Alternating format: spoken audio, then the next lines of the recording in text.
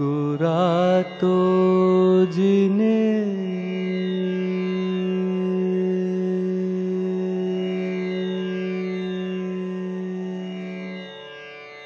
गोरा तो जिने।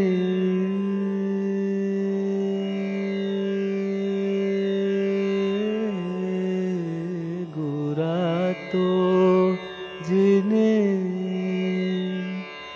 ज्ञान की जड़िया दई ज्ञान की जड़िया दई It was a courtship that began with letters. Not letters to each other, but letters through a common cousin, Satya, who would later be filled with amusement at the romance blossoming between her cousins. Unknowingly, or perhaps even knowingly, it was she who sparked off the tender romance between the two spirited artists.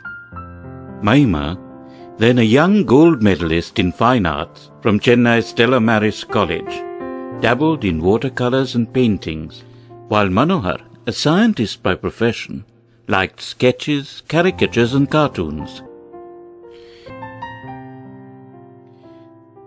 Satya and Mahima were holidaying in Kodaikanal with their family when Satya received a letter from Manohar with several illustrations and a small caricature of himself.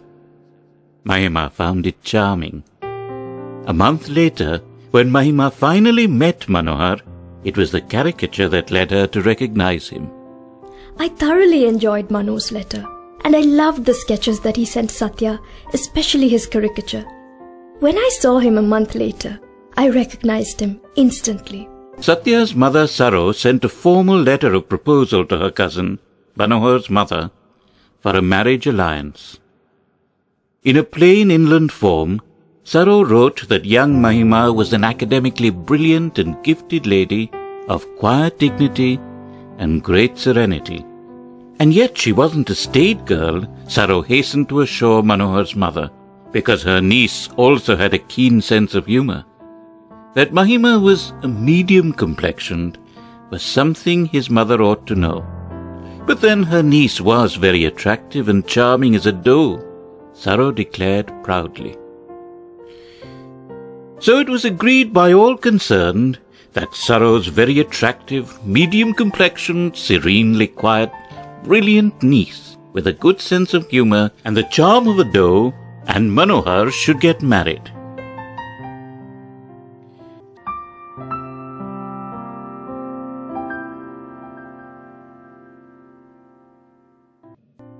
Once, two months before we got married, we went to see the movie To Kill a Mockingbird.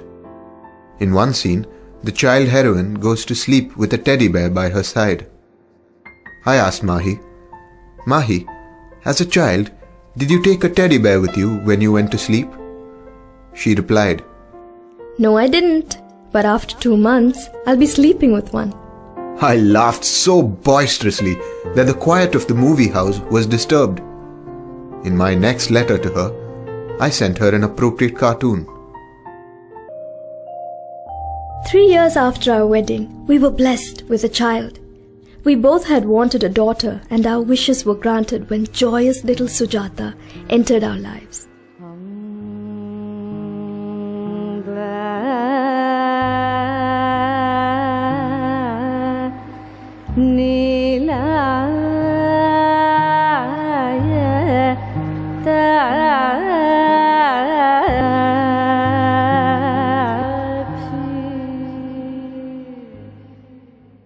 A year later, Manohar began to realize that his eyesight was failing him, especially after nightfall. Manohar was to learn later that he suffered from a syndrome called retinitis pigmentosa, a condition where retinae progressively degenerate. It is a condition for which there is no known cure.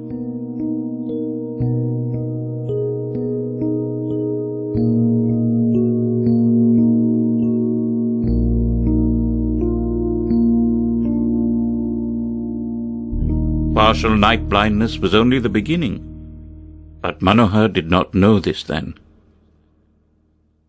That year, Manohar left for the USA for a master's in chemistry at Oberlin College in Ohio, where Mahima and Sujata were to join him in a year.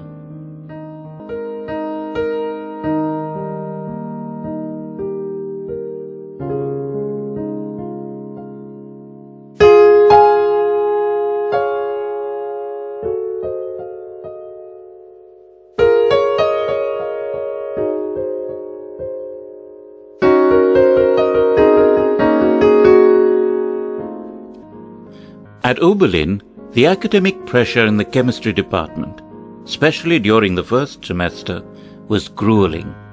Despite this, Manohar found time to send letters and illustrations to Mahima.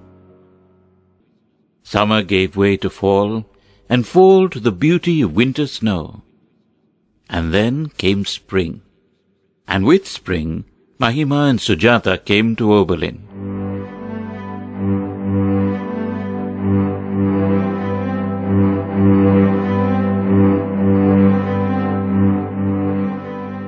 It was their ninth wedding anniversary. With a prayer on her lips, Mahima lit the traditional five wick brass lamp. Barely had the lamp been placed on the window sill when a sudden gust of wind blew the curtain like a sail.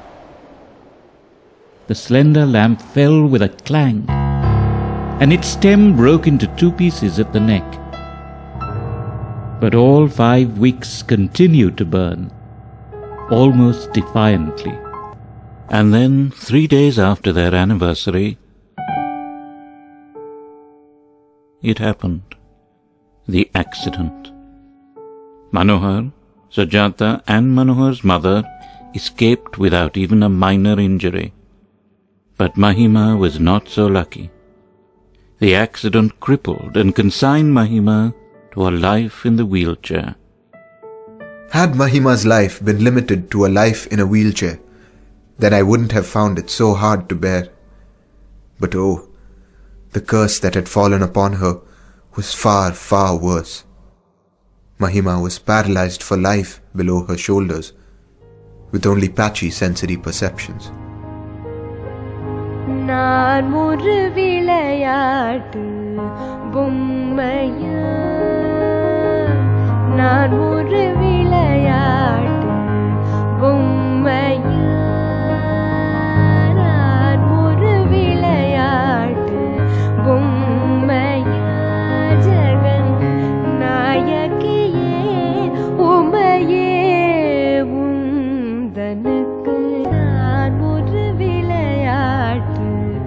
Bommaiya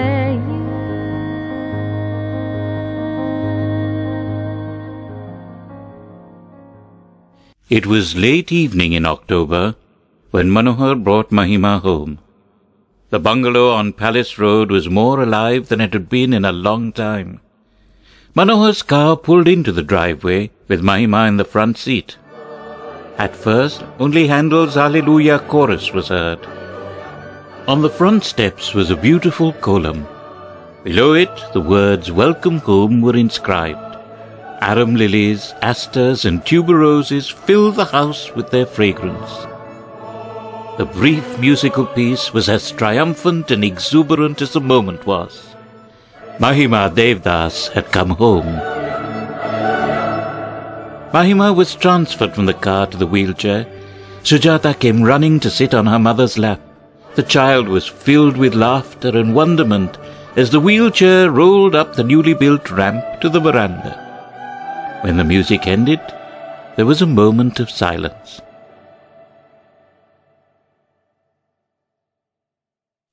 Mahima did not say a word, nor did she smile or cry. Manohar's mother came forward to kiss Mahima. I am so glad you are back home, my beloved daughter, she said. That was when Mahima broke down and cried. What was it that drew people to her, I wondered. It was not so much her looks, but her warm personality and her quiet courage that attracted people and inspired goodwill.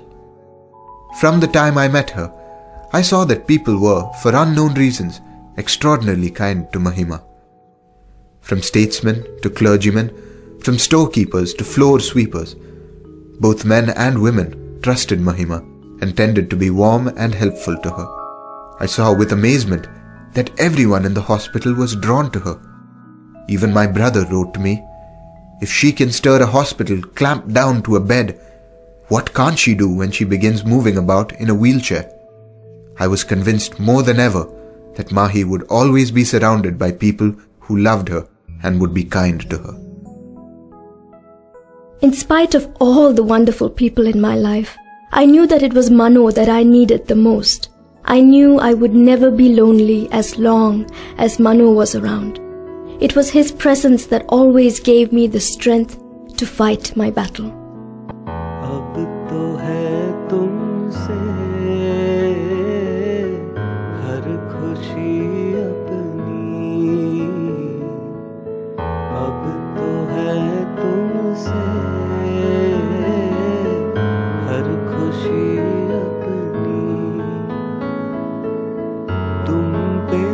मरना है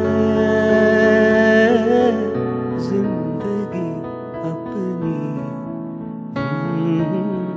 अब तो है तुमसे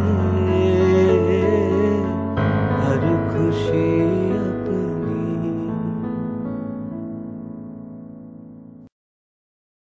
अब तो है तुमसे